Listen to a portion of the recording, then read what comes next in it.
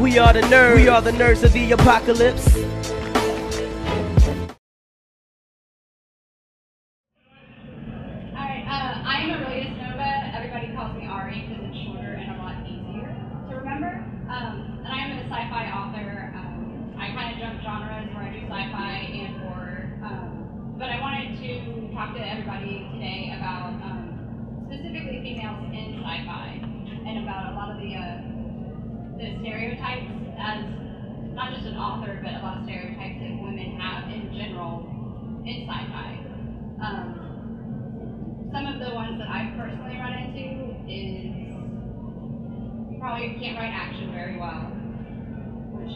Strongest suit is action scenes. Um, or I'm just a face selling for somebody else who actually wrote the book. Um, I actually had somebody ask me and did not believe that I actually wrote uh, my book Spark uh, and my Stories of Gardar series. They just thought that I was like, oh, keep like the person um, which is really irritating, especially as a female, because you, you like you know you're already kind of like at a disadvantage in the area of sci-fi, but then to have people say that kind of stuff, um, and pretty much like the, the four biggest stereotypes for women in sci-fi is if you're an author, you write erotica, you write romance novels, you're not good at writing, and it's not gonna have a lot of action in in the series. Um, but sorry, I just lost my train of thought. Got really quiet yeah. um, but at the same token, a lot of women authors play into that and are self-perpetuating those stereotypes because they know that it'll sell.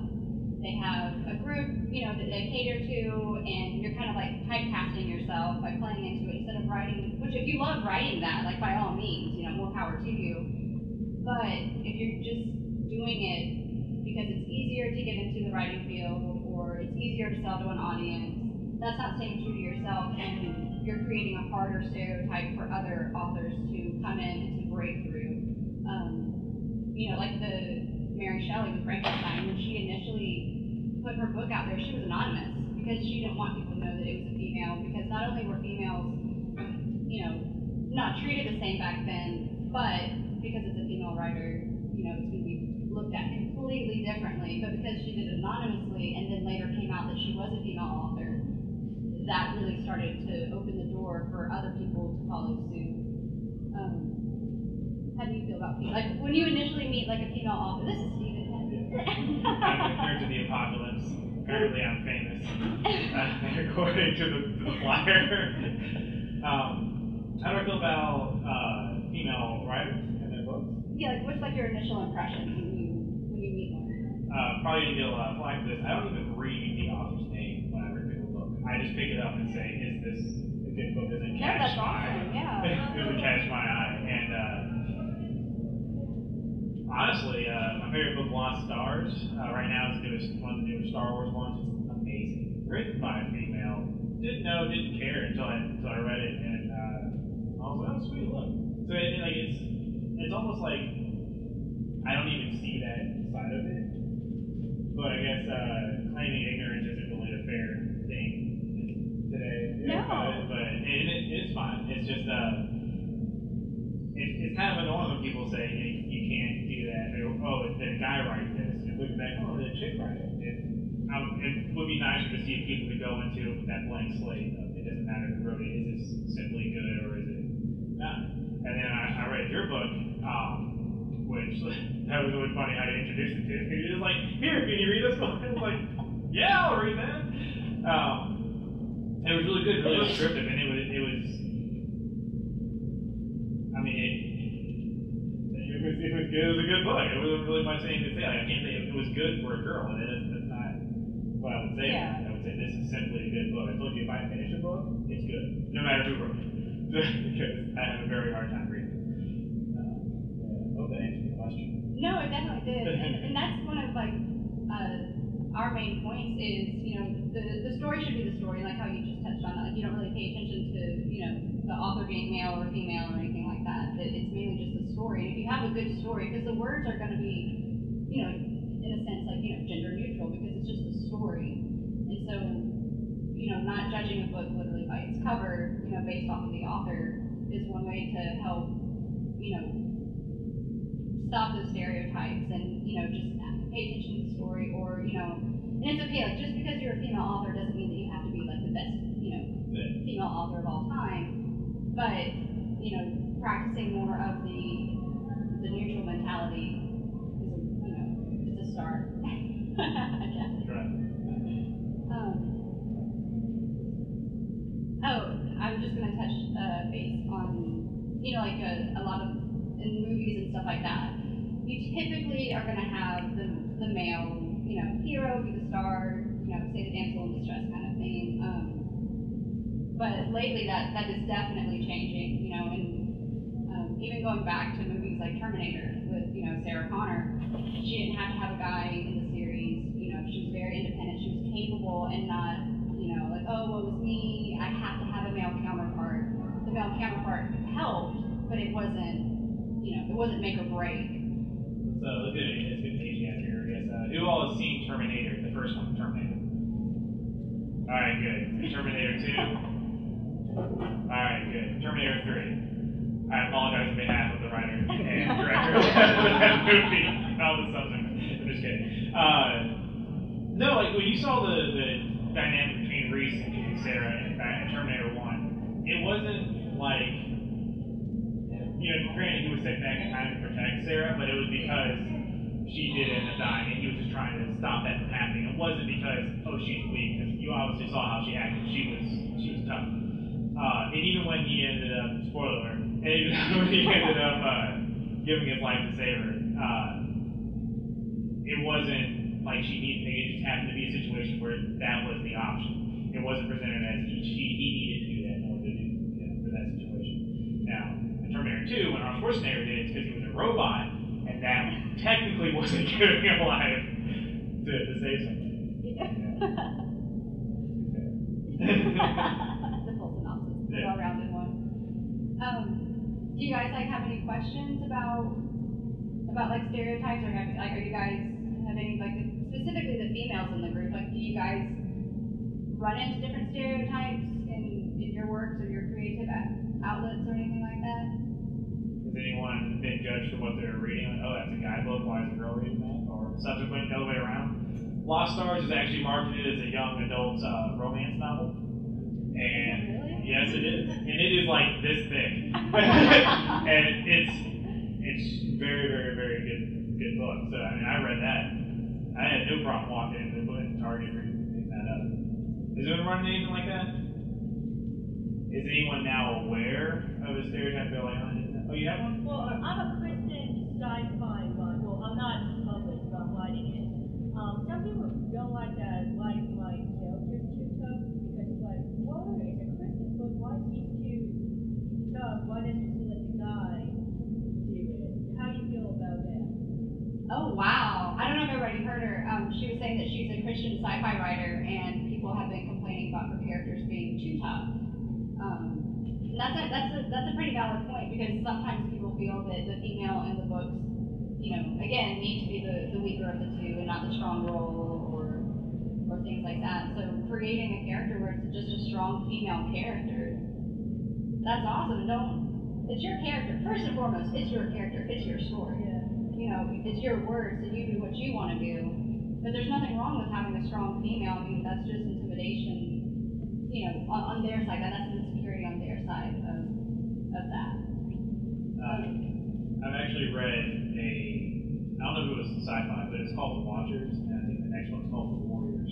Um, it's actually a Christian novel about this guy who's an assassin, and he's getting recruited by this girl who has a special power. She can see visions from God, and uh, she ends up growing into a very strong character in that, and it's because she's she's like learning from the guy who's a hardened like criminal. He's he's not criminal. He's a hardened assassin. He was born and made his money in war, and she like one of the biggest Stranger Things to show people's adaptability. She just like picks up on it again and again and again. And there are several times where she saves him because she's you know she's just as strong.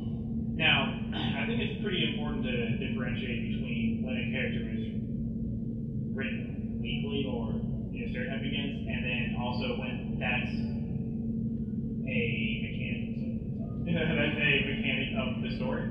Um, for instance, I don't remember the girl's name in that in that particular book, but like her power was to see visions from God and to say, hey, something's going to happen while you're doing this mission. Watch out for these things, and that made her a very strong role, a very strong character. Then you've got characters like Princess Leia and any Star Wars. She's just, you know, I'll get it, I'll get my hands dirty. You know, that's the way she's written. And honestly, I think Luke is kind of. he's. He's always complaining. Uh, but it's just. And then, there's some that are just like written so so they can't do anything. They, they literally are with them. They can't help themselves or anything like that. If that's a main character, I kind of see that as like a problem where everyone's just trying to save her. Does anyone watch anime here? Actually, nobody else did. Who watches Fairy Tail?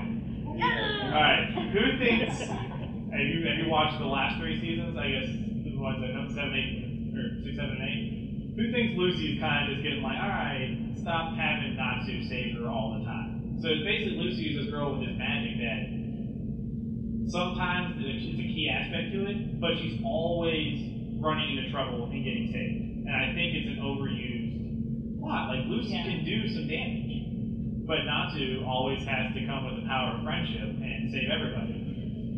now, friendship and fire, I guess should probably come. But uh, like Fairy Tail's great, but then there's some characters that you can just see that's like she's done cool stuff before, and she's done incredibly powerful things. Why why is she being made this Kimi King if she has to be weak? But that's, but that's what a lot, you know, people see like the reaction and they like, oh, like, you know, okay, that was a good one, and then we're gonna keep doing it, and then we're gonna keep doing it, and I'm still doing it. What's up, sir? Yeah, like, um, you know, in Naruto, Sakura was always being saved, and now she's finally able to uh, defend herself, That switched over to Shippuden, right? Yep. It took a whole series. Yeah. Yeah, they yeah. finally got there. They finally got there. It is good to see that that change is happening. Though. Like, we're on the advent of a lot of uh, the female change. You can see it in Marvel, all over the place. yeah. Um, and it's great. Some people have an issue with Black Widow. Uh, is that, yeah, oh, why am I drawing a blank on that? Yeah, they're, they're having an issue with her, but that's like I said, that's a mechanic of her core. That's core to her character is what she she uses her femininity to become strong. But she's also held her own in the fights. It's not like they're trying to say, oh, this is what women do. No, that's what Black Widow does. That's Yeah, there's definitely a big difference between, you know, categorizing everybody into that, and then versus, like you said, the mechanics of the character. Because I mean, there's nothing wrong with having, you know, the male being the stronger, uh, you know, the stronger character. But there's also nothing wrong with having a strong female character. You know, like it's okay if it, if it caters to the plot. Okay, well, you know, the female needs rescuing, or there is a weak moment in the female. As long as, again, like it's not overdone. Like, and because everybody has those moments, you know, male or female, you're gonna have those moments where that person needs help or you know uplifting or, or being rescued or anything like that. I was thinking of a, I don't know if anybody's ever watched Inuyasha. That used to be like Oh, here we go. my Inuyasha, but like Kagome, like I used to get so frustrated with Kagome because it was constant like. someone feels you there. yeah, like you can you can be like this VA, like you know, and like one shot wonder, but you're constantly getting trapped or kidnapped or whatever, and it has to be this huge moment where Inuyasha like breaks free and saves you, and it's like, can we just not, like, can we stop for a minute? I would like to see an episode of Fairy Tail come out where, or in Inuyasha, like Naji goes to try and save her, and all of a sudden she's already saved herself. It's like, oh, all right then. Yeah. And it might, it might sound anticlimactic. You could you could add something else on at the end and be like, oh, now let's go find this guy together. But it's just, it's, I don't know. It, like, why, why you gotta do that? why you yeah, gotta do no, characters exactly, like that? exactly. Who has a favorite strong female they have? Okay, um, who jumped a lot to the side? I want to grab someone from over here, then jump back over there. Is that okay? Yeah, uh, man, go ahead. In the back. Yeah. The most blonde from Once Upon a Time. Elaborate. I, I, well, Steve, would you elaborate on what, what Emma Swan from Once Upon a Time? It's fun. It's just like it's like this. I, I, I don't have the time. It's like No, it's fun. no, like that you kick butt and see a bounty hunter. I was trying to make. She just shows up in this face downtown and like everybody's like, "Ooh," she's like, you know, like, Yeah. hardcore. I was doing that because his wife makes him watch it. She does her thing.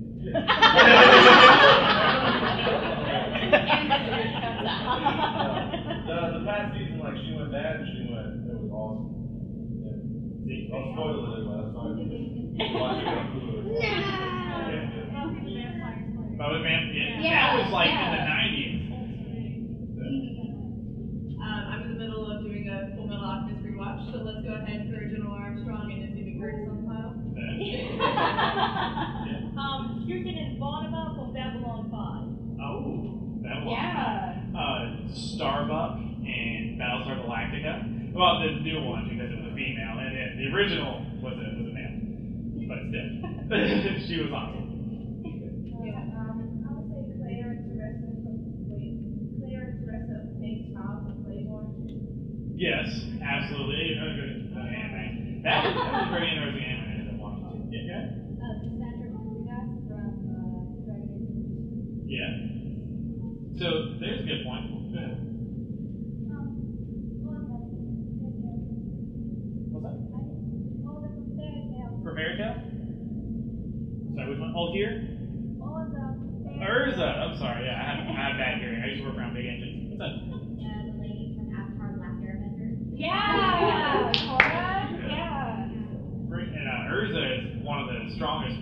she's all, you know, got our friendship over time with that. But what's up? Ripley from Aliens. We're Yeah, actually that gonna was- talk yeah. about that. She's like, um, go ahead.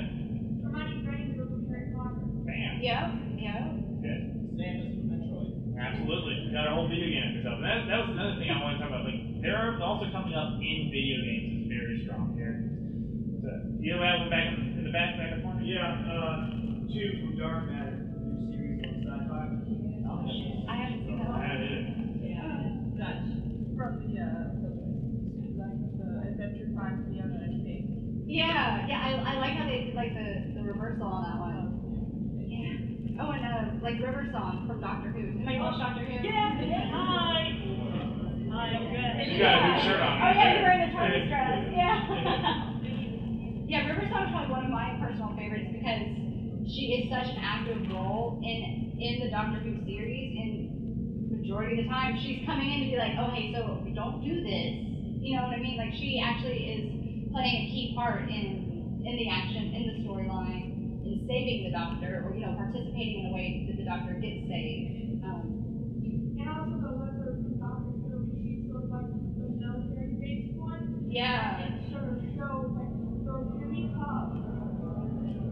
No, exactly. Yeah, the, the she's actually a really good example because not only is she an extremely strong character as a female, she's a lizard woman, so we have interspecies, and she's a lesbian, which is you know the. Catering to everybody. yeah. I mean like. so you like that one character is a huge character, and you don't. I mean, you see her pretty often, but not, you know, in every, not in every episode, but you know, you remember her, and you start to fall in love with her because she is so strong and she's so different, and she she pretty much like immortalizes everything for women. Well, in, in my opinion, I'll just add that asterisk. to It's not, uh, you know, an okay to go have relations with lizards. I'm pretty sure that's still illegal. but, uh, okay, so we are on the advent of this. You guys excited about the lizard I got, no, comment? I got one, I got one, I can't have one? No. No. Okay, go ahead. What? what? Okay, I got one, I got a question. Okay, okay. So, I love Rey from Force Awakens. Yes. Um, well, what's your thoughts on her, like, judgment on the end of internet for being a Mary Sue? You know what that term? Like, a Mary Sue, like, a woman that can do everything, like, all that she can shoot, she can fly. Like, I just feel like when it's a man that can do all that, they're like, oh, it's a man that can do all that. And then when a woman does, like, that's a Mary Sue, it just really ruins race. Yeah, like my biggest problem isn't even with like the male versus female. It's anytime you have a character, like even like with males, when you have a character that just like knows how to do everything. And it's like if you don't have any background context Right. for that, that really gets it for me. But yeah, a lot of people, you know, don't don't think twice if it's a guy, but then as soon as they see a female, they're like, oh no, well, well, let's dissect this. And how would You should have been in the determine That's not how women work. I'm just kidding. Yeah. With accuracy. Ex- Yeah, exactly. It's And like- he's a lifesaver. Yeah, it's like did anybody anybody question Han Solo? Because Uh, he can fly and shoot and Piece of shit. speak Wookiee. Um, actually, he asked the exact question that I wanted to ask. Um, I, I don't, I haven't seen the newer Star Wars, so correct me if I'm wrong, but I did read about that exact thing. Um, and from what I've read, the writers made sure that she, um, had background of like knowledge of like, okay, so she's never, you know, like flown the whatever. Millennium Falcon. You have Millennium Falcon. Before, but she had every reason, like she had a background so that it would make sense that, you know, she'd be able to. Whereas like Luke, you know, meanwhile, didn't have any of that, yet they Yeah. were still calling her a Mary Sue, you know, whereas they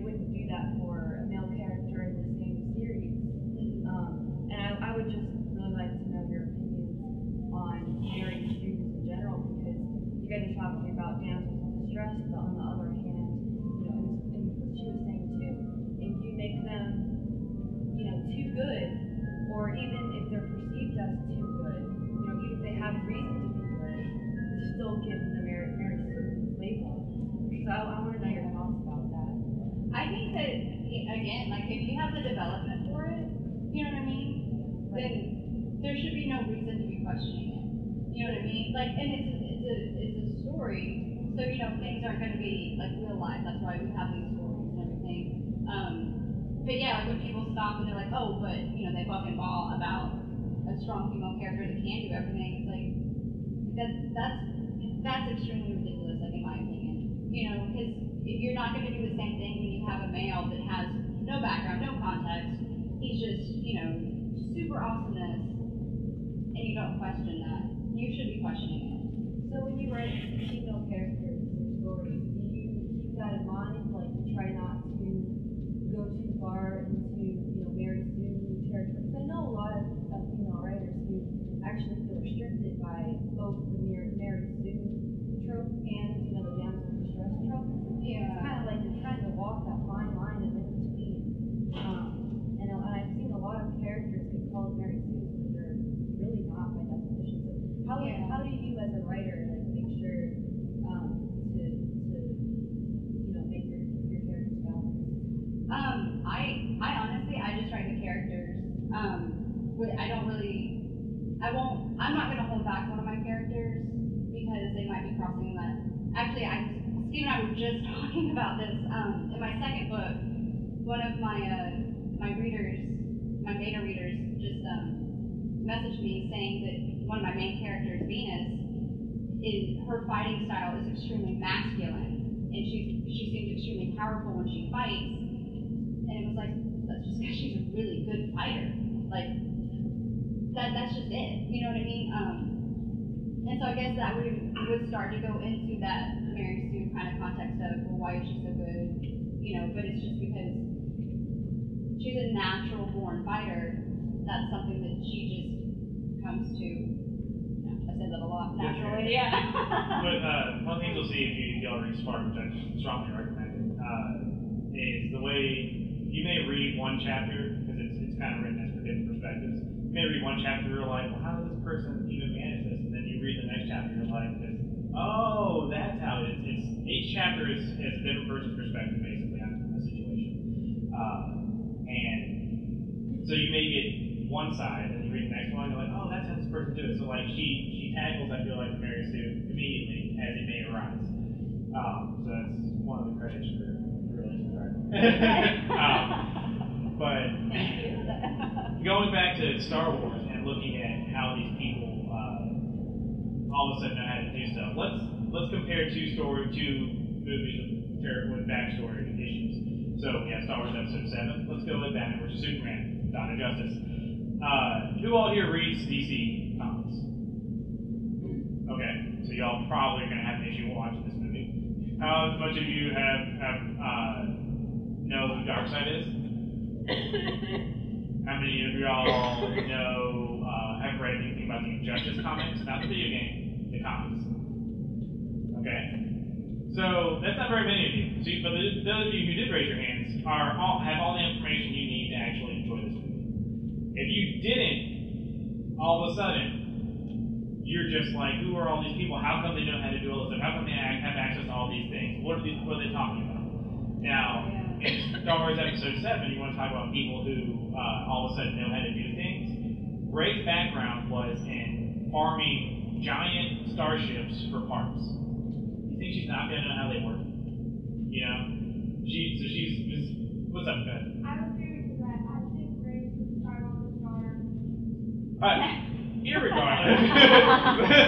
uh, yeah, but she it could very well be. We don't know, but still, she has a background in tearing apart ships, so she's going to know how to reverse engineer something. So her knowing how to fix a Falcon or the Millennium Falcon is not going to be too difficult. Sorry, YT twenty one.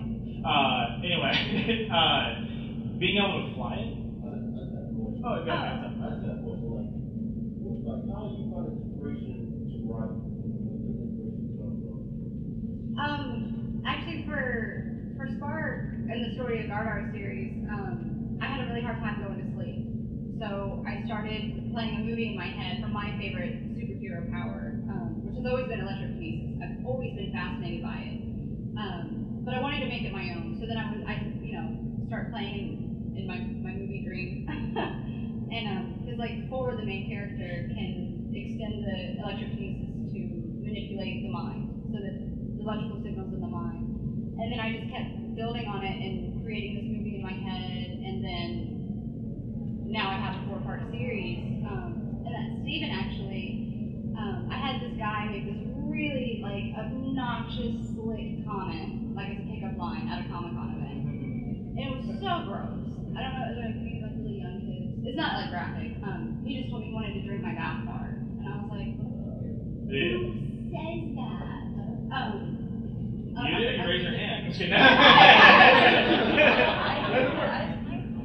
You're going on, you're making a point, but I just want to keep finish what you're saying. Absolutely. I'll jump back. Didn't want to go into Oh, um, but so, uh, I was putting together like a collection of short stories, and Stevhan had said, oh, you should write one about that guy that made that comment. And then, boom, I had this inspiration for another horror short story about this guy doing just that. Like, Yeah, it was pretty gross. yeah. Yeah, back to the uh, background. So Rey has Rey obviously has already has a background in tearing ships apart. She has a background in piloting at least ground vehicles. Uh, and obviously when they're running in that particular scene where they board the Falcon, she says, No, that one's a piece of junk. So she has a she has a knowledge of that ship. And see things you can pick up on that you maybe watch it one, maybe two times, you'll, you'll, you'll pick up on. You can see, okay, she knows how to do that. And it also seems to be common knowledge in the Star Wars universe that if you watch the movies, people know how to pilot other ships. There must be some kind of base knowledge of that these things work a certain way.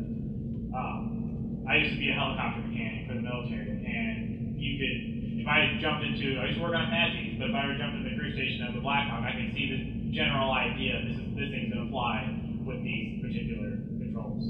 Uh, so I would, I assume that's, that's my prior knowledge that something like that exists in the Star Wars realm as well.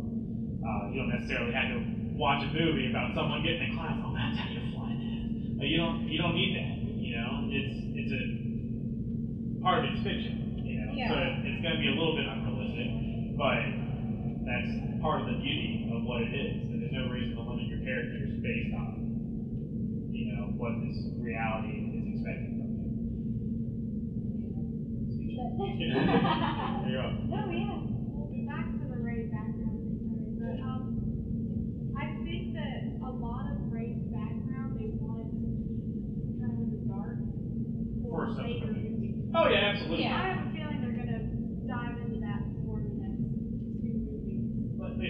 What Luke was flying before he flew an X-wing?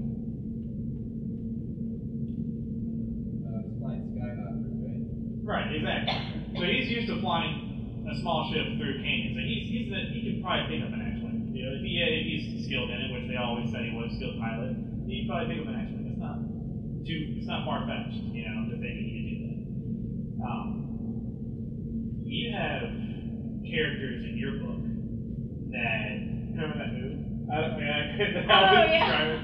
They can pull off these uh these she's she's very descriptive when she goes in the comments. You really are like seeing this person do whatever he's doing in the in the uh, in the scenes. But uh he he, he pulls off this move where he like flips this guy over by pulling him like pretty much in between his legs from like a crouching position. It was it was crazy, but like so this character was taught these uh but he ended up having to learn these from a wife that she ended up describing. He's like he's on the run for a while. Uh, so he learns all these, these moves and disarm somebody, uh, disable them, and then move on quickly.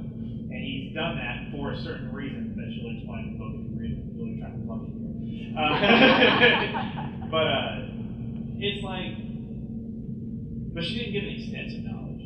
She just said, "Oh. I can see where someone can pick that up." So, at what point, as us as readers, do we say we'll allow you to do that? We'll allow that to happen, you know? And by allow, I mean I accept that this is Right, like at what point is yeah it the reality. vague enough but detailed enough at the same time to have that balance? It's up to you as a writer where you want to draw that line. Some people obviously can't handle Rey.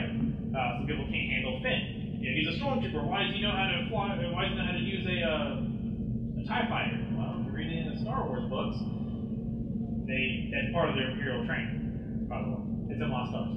Another plug. um, yeah. You want to have a question about you know something or something they would, they would like to see happen in the uh, future of writing for females programs? Yes, ma'am. No, I mean, there have been women writing science fiction and fantasy about strong women for the better part of a century. It is like past time. We just accept it and move on. Yes. Yes. Yeah. There's a lot of things nowadays that just pass time. Okay, it's old. It's, it's okay. It doesn't hurt you to have one of these character, a female, be a strong character. yeah.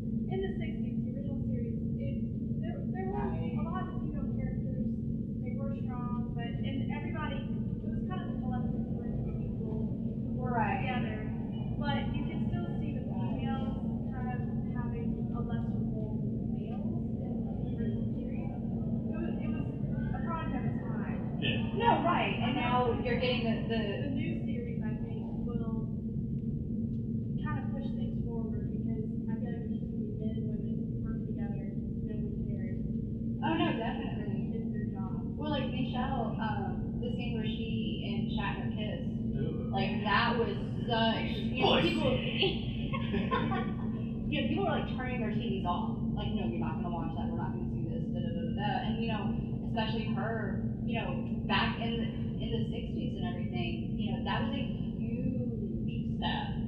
And and she's one of the, the major ones, at least in my opinion. You know, with Star Trek, that really started pushing that fold of you know, being a female actress because even though she was kind of, it was like a, a group, she started taking more of a stronger, not the lead, but she started taking a stronger lead with the character and being in the show. And yeah, even with the new series coming out, you know, that the same character is, you know, is even more present and even stronger and more interactive with the, you know, the other characters. Has anyone seen this like dynamic play out in person? Because a story. Has anyone ever seen it happen? Okay, check it out. So uh, you haven't heard the story yet. I was I was in uh, advanced individual training while I was at Fort Eustis, Virginia, and there was a lady in my squad named her last name was Vega. I remember her first name, but she was very uh, she was very fit, very athletic, right? So we went to combatives class where everyone gets certified in level one combatives, and it's pretty much all grappling, kind of Gre- Greco-Roman wrestling kind of deal. And she was matched up with uh, my buddy. His name was uh, Josh, was his last name. Josh was a big guy. He used to be on a football team while he was in high school. He's a pretty fit guy, and everyone was pretty much betting on Joshua to win. You can already tell by that sentence he did not win by any stretch of the imagination. She had him in a rear naked chokehold really quick, and then the arm bar even quicker after that. And she was able, she was just able to maneuver so quickly in doing that kind of stuff. And she just, she just loved combatants. And so you'd say, you know, oh, someone like that must be, you know, must be a lesbian. No, she wasn't. She had a husband back home. it was it was just really funny to see this guy who was not intentionally being sexist, but kind of just playing into it, and then get his butt kicked by by this girl who's also like a foot and a half shorter than him. It was great to see it happen. So like, the, it just just because the justice that comes involved with it, you know, Johnson Yeah. was cool. They were both cool afterwards. It was just, we're just like, we didn't see that coming. It was like exactly that's that's That- almost a beauty in it. Yeah, yeah. Big is great. She's she's doing well in the military now. It's just uh, it. I. I like to see everyone get their due. You know. Yeah, no, give- Everyone gets their day. So that was that was one of my favorite situations. in the military. It was a lot of fun. There are other ones we can't talk about now.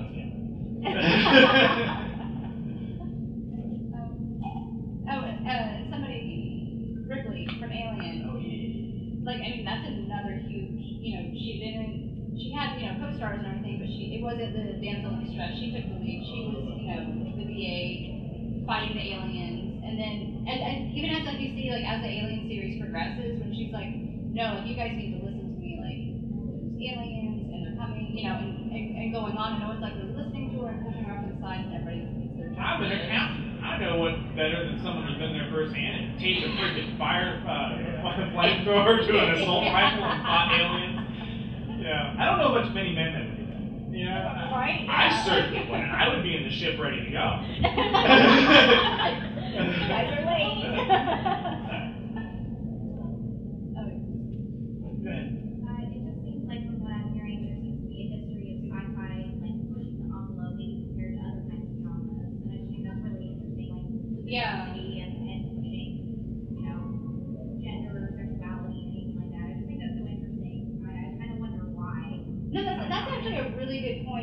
sci-fi really has? You know, they've been kind of like the leaders in in doing that. You know, and especially you know, like romantic comedies.